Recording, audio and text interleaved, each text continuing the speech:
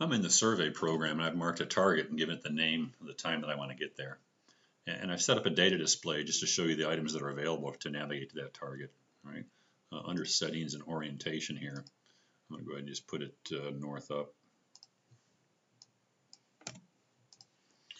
All right, so that target, uh, if I look at a distance and bearing, it's uh, 303 degrees from north is the azimuth, and it's 910 meters away. The difference in easting and northing from the vessel to the target.